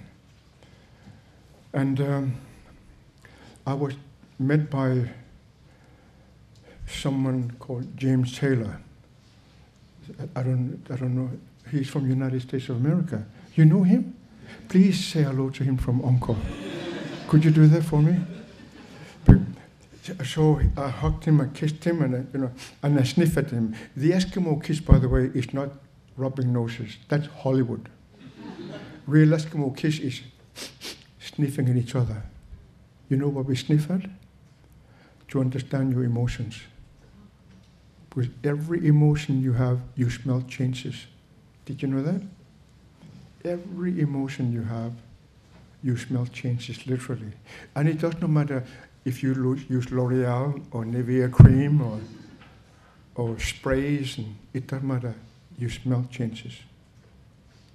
It's a human nature for you and I smell differently for every emotions we have. So that's how we treat each other. Then, in, when I was young, I would make, uh, I tried to make jokes. It really doesn't work, but I would say, now I know which one of you didn't have a shower this morning. People don't understand that kind of jokes. So, so I would do that. And, and, um, and it is so interesting to realize what the old people say about this phenomenon of climate change. You and I, we had a chance to do things differently. And we could have helped many things. But we did not. We didn't do anything. And now, end result of it is that the big ice is melting. In my land, I have enough water for 8 billion people for hundreds of years. But the small country called United States of America, most of it is running out of water for consumption of human beings, for consumption of the animal world, for the growing of the plant world, so we can eat. How did we do that? We farmers use chemicals, and it goes down into the earth and destroys the aquifer. And it's not good for you and I to drink that water anymore. Then, of course, this beautiful country cracked the earth in seeking for the gas and oil and whatever else. And but they crack it with chemicals. So the, because the water is a living thing, polluted or not polluted, it will sink through the cracks and reach the aquifer below us. So it's so interesting that the beautiful country of Oklahoma has run out of water. I- i- Isn't it sad that they have no water to drink? They have to import the water. Pennsylvania is in the same situation. Texas is in the same situation. And it is as though we did not comprehend it. And most people don't have. Six weeks ago, I was in, in India. I went there to do a water ceremony. Because last year, I invited spiritual leaders of the world, and about 40 of them came to Greenland to the elders' gathering. Because I thought that the year before, I, I made a letter to the Pope. I had no idea who he is, but I never met him. So, so I, I wrote a letter on, on uh, video, vi- you know, the film, and told him that I would like him to come to my land so he can see what you and I be doing to Mother Earth. He seemed to be concerned about it. So I did, but nothing happened out of it. So I thought I better invite physically those spiritual leaders of the world. And people came from all over the world. And um, the oldest one who came was representing Dalai Lama. He was 97 years old. He came and he walked unassisted. I want to be like that when I grow up. I want to be able to just. It was so beautiful to see that he was so concerned about the well being of Mother Earth. But when I came there, when we came there, it was dark and gray and cold, and the ground was so wet that we couldn't put up our teepees. So we had to find places where we can, can be dry and we can sleep and eat. Because the, the, land of my, the land of my grandmother is huge. And then, and I was, wow, what the heck am I going to do? Where all is cold and everything was frozen. I walked with him up to the big ice. Everything was just gray and dark and cold, so solidly frozen. Next day, though, I woke up in, in, my, in, in my tent. Oh, the sun is shining. I was so excited. That was four o'clock in the morning. I woke up. So I ran to the river, one river, which comes directly from the big ice. It was trickling a little bit of water, just a little tiny trickle. But the sun just was warming up. Within the course of about 10 hours, that little river was carrying more than 1 million liters per second from the melting of the big ice. Have you heard about the, a small river in Ontario called Niagara Falls? You should go there. It's really beautiful. It's really beautiful. She carries 750,000 liters per second. One river from the big ice, melting of the big ice, carried in about 10 hours more than 1 million liters per second. And there's about 10,000 rivers like that in Greenland. And you go to the ocean. It's so interesting. Why is it melting so fast?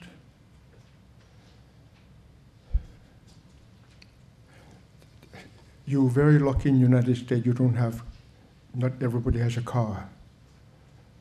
But every time you check onto the highway, the highway eats the rubber of your car.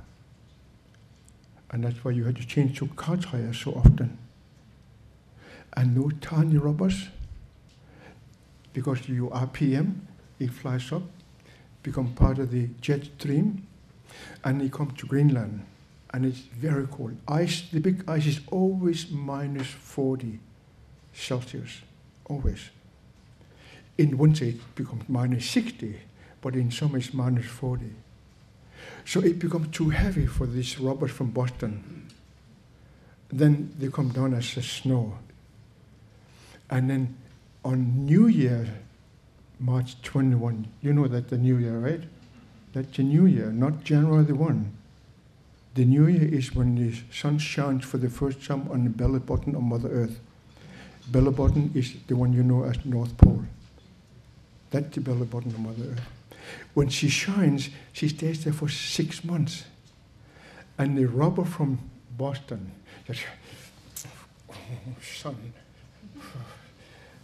And then immediately, as sun hits the rubber, it melts because it warms up the rubber. And instantly, this water will start to trickle and become rivers, enormous rivers, carrying more than a million liters per second. That's how the velocity of the rivers. So, and then of course the robbers go down by the river and then go to the ocean and then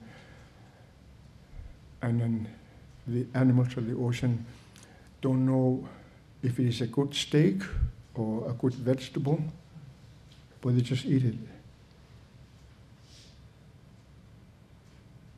That's what they do. Because they did, we did not educate them not to eat rubber.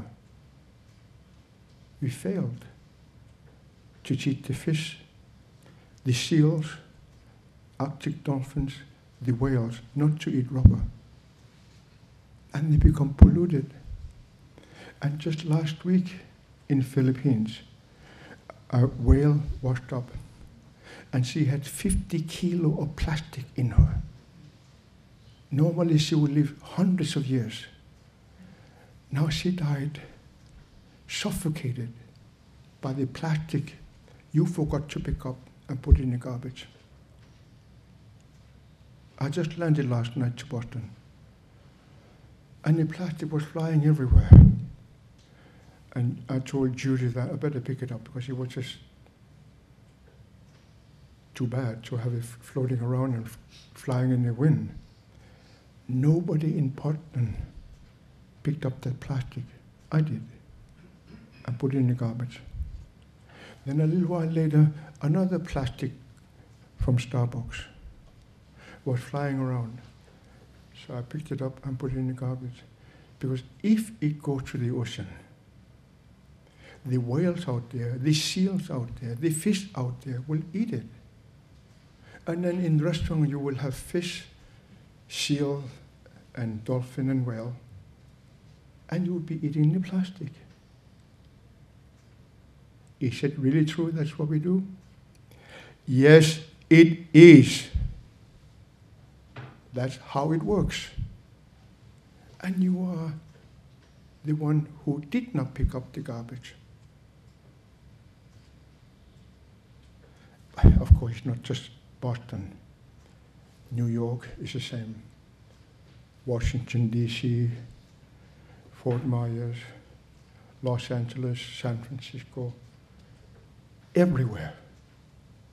We do not pick up the garbage, which will end up in the ocean, and the animals we depend on will eat it. So today, when you go to a restaurant tonight and you have fish, it will contain plastic. It is not digestible. It will remain in the body of that fish.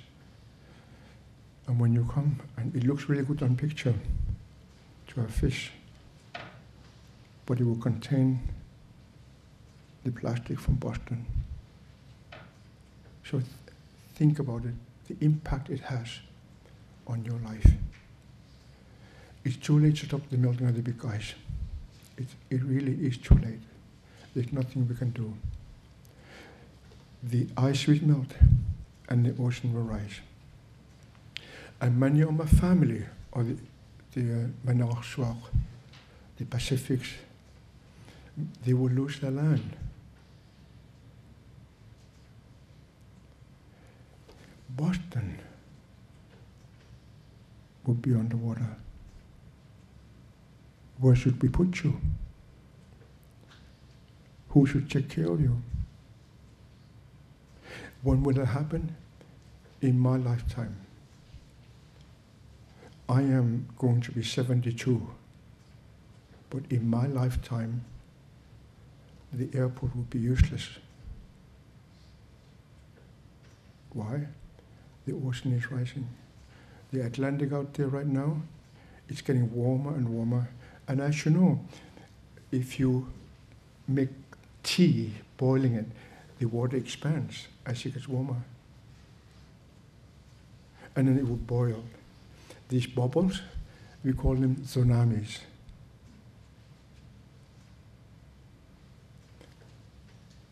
Did you ever think about it, climate change like that? So it has an enormous spiritual implications. Because in our religions, and there are nine big religions, remember? Abraham, Moses, Krishna, Buddha, Christ, Muhammad, Bab, and Baha'u'llah. Zoroaster, I forgot Zoroaster. Abraham, Krishna, Zoroaster, Buddha, Christ, Muhammad, Baba, Baha'u'llah. So nine big religions. We all believe the same thing that you and I are supposed to love each other, care for each other, recognize each other, respect each other, honor each other, but most of all, to love each other. And we don't. I landed in Boston yesterday, not one person welcomed me. Not one person asked me, Oh, where are you from? They never seen me before. Not one person. And I had to really look at myself and see, am I really real? I said, it hurts, so I must be real. But not one person, can you imagine? I am real. But not one person in Boston asked me, Oh, what's your name? Where are you from? How's your family? Did you have a good travel? Not one. That's how far apart we have become. And when we stop recognizing each other, really bad things will happen in our life. You and I, we have never been so close to another big war. Except this time, the bullets are much stronger than 77 years ago. One single bullet now can kill dozens of people. That the power or the enormity of military thing we have called war. And we let it happen.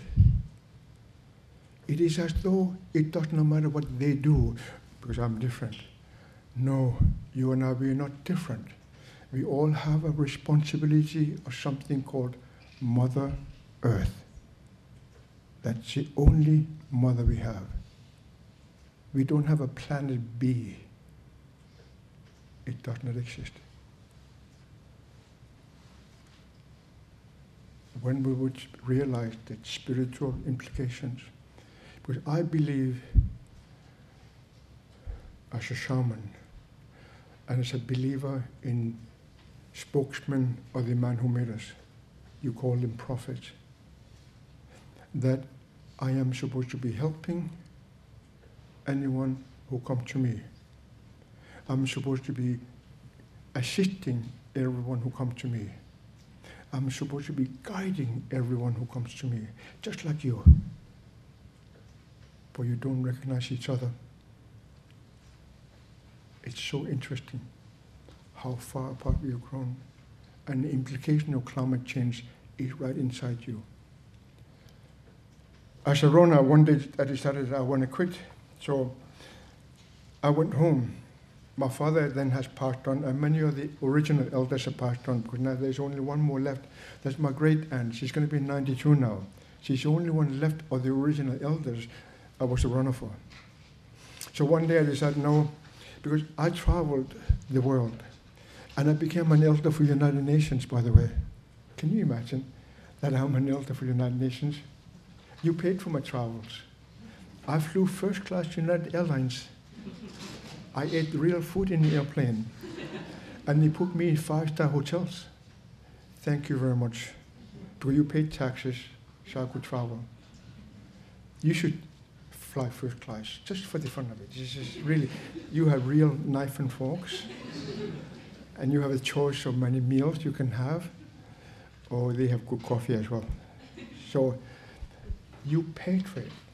I thank you for that. But at the end of the day, we failed ourselves. You and me. you and me, you and me, we failed ourselves. We did not take care of Mother Earth. And now, many people will not have water. In India, where I was just recently, I was going to this source of the rivers, seven rivers of India, to do a water ceremony. But then the war started between Pakistan and India, so everything was cancelled. But I will go back and finish my ceremony, because as a shaman, it's my responsibility to bring back the ceremony to the world in which I travel. Why? Because life is a ceremony in itself, worthy celebrating with a ceremony. Can you imagine that your life, your own personal life, it was celebrating with a ceremony every single day? And my grandmother says, when the ceremony loses its spirit, it becomes a ritual. So we ask her, what does it really mean that when the ceremony loses its spirit, it will become a ritual? She says, we will begin to do things, because that's the way it's being done. We don't really know why it's being done like that, but we do it because that's the way it's being done. And my grandmother who was born in 1891. Says the world as it is is full of rituals. You're right. I was invited by the Pope to speak about spiritual significance. Can you imagine that the Pope invited me as a shaman? I touched my heart for that.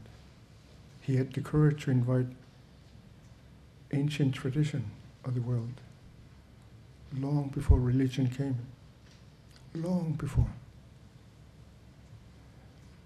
And I told, told, told him about the spiritual significance of climate change. And it's so interesting that in that world, it is as though we have not heard one thing. It is as though you are not worth it. But when I look at you, you're a really beautiful being. You are worth it. And the only one who can be caretakers and custodian of Mother Earth is the humans. Animals cannot do it. The plants cannot do it. The minerals cannot do it. Only you can do it. So,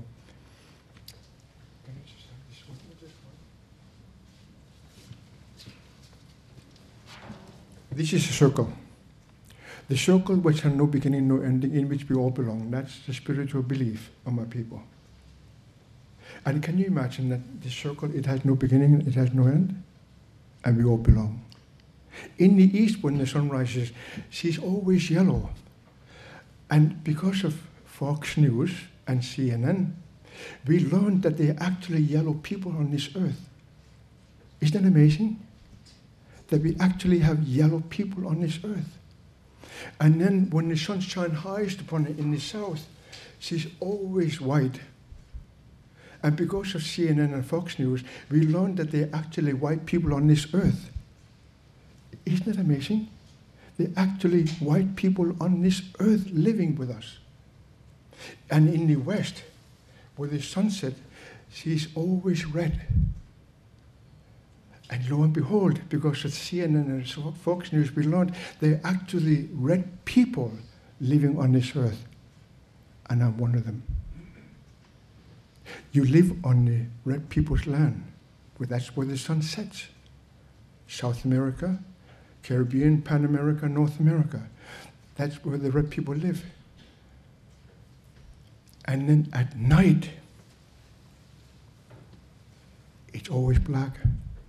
And lo and behold, we now have learned there are actually black people on this earth. Isn't it amazing that we have yellow people, we have white people, we have red people, and we have black people, and we all belong in the same circle. The beauty of the circle is that we cannot see each other's backs. And the strength of the circle is that we can only see each other's beauty. Can you imagine to live in a world where everyone is equal? And the beauty is that we're so different from each other. Look at yourself. Not one of you look alike to the next one. And for me, from looking at you here, you are so stunningly beautiful. You are worth knowing. You are worth accepting. You are worth respecting. You are worth acknowledging. But most of all, you are worth loving.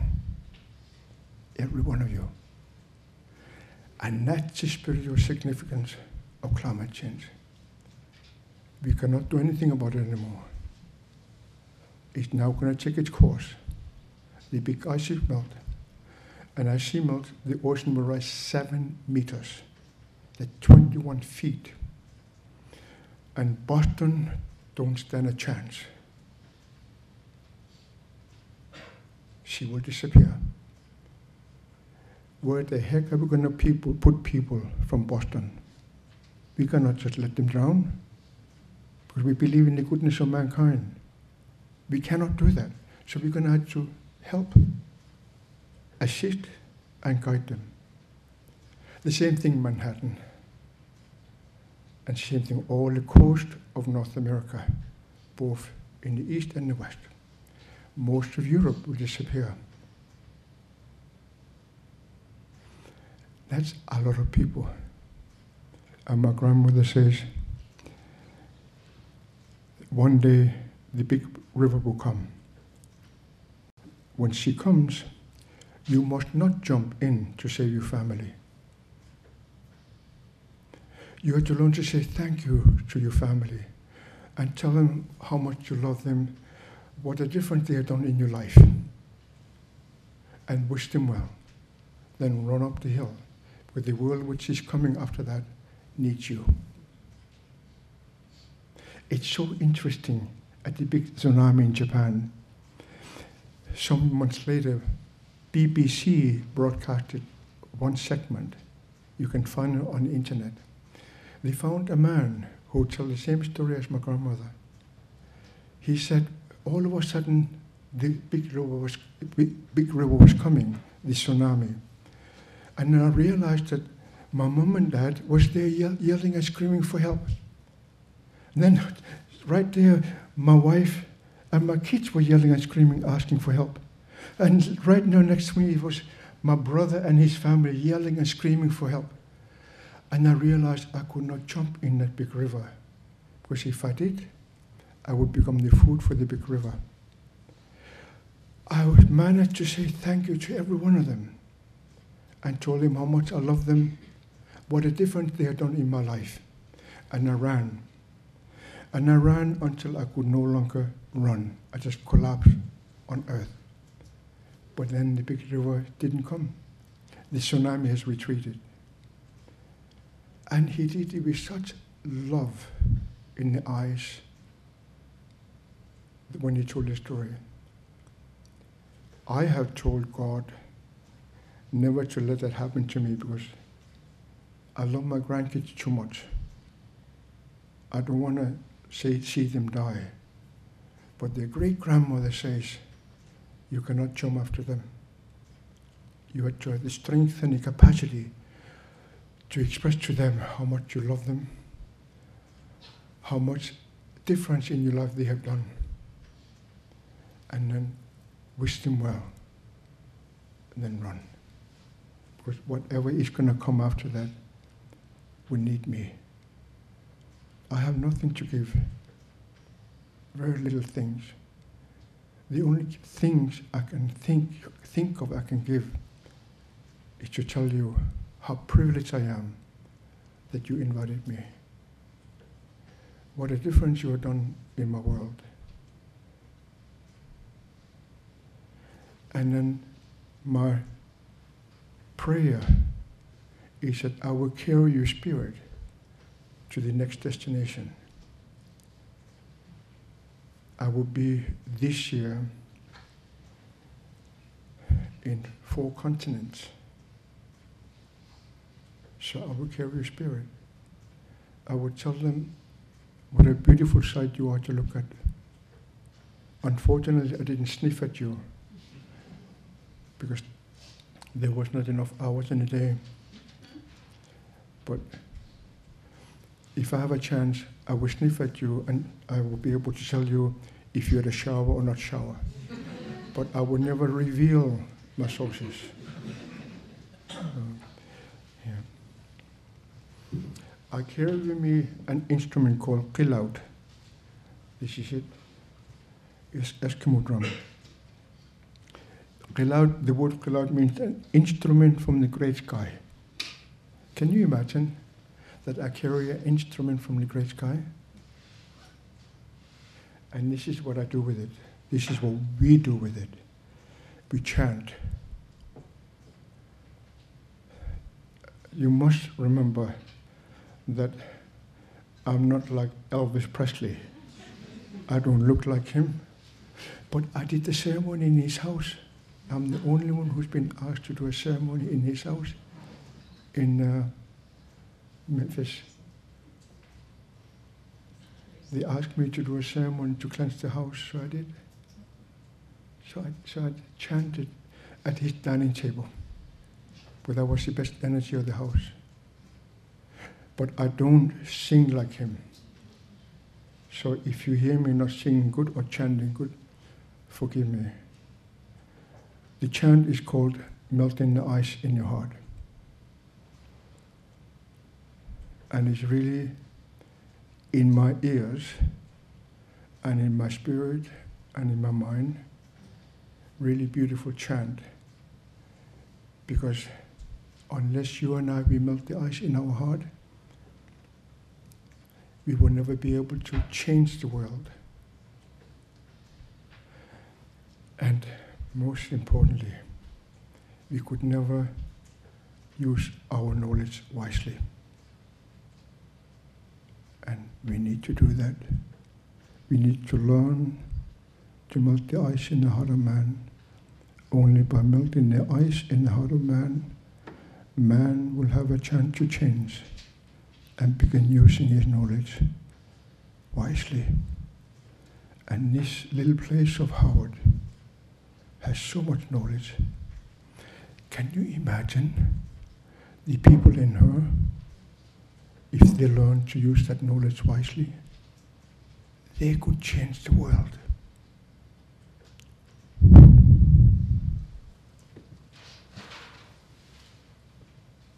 Oh, ho ho, ho oh. Oh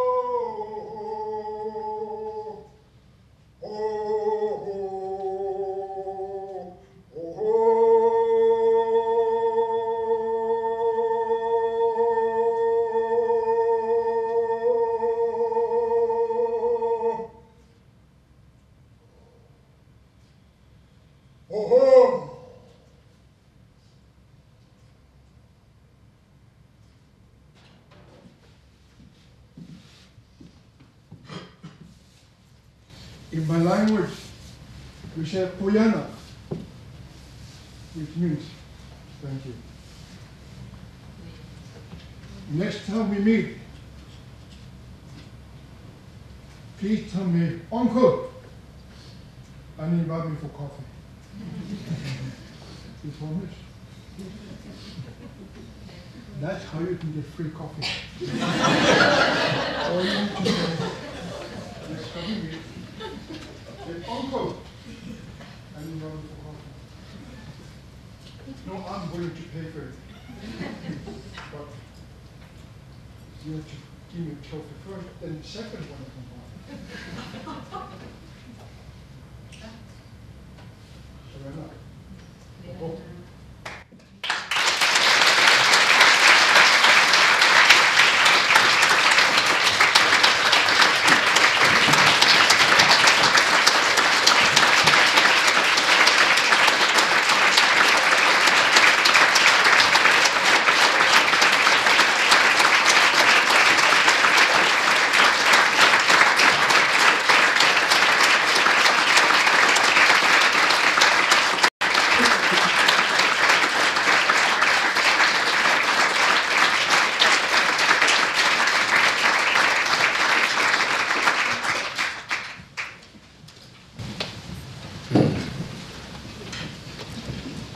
I'm mindful of the hour, so I will be very brief.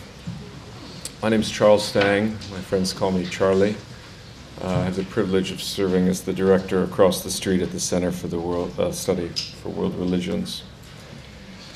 I want to thank Nainoa, Uncle.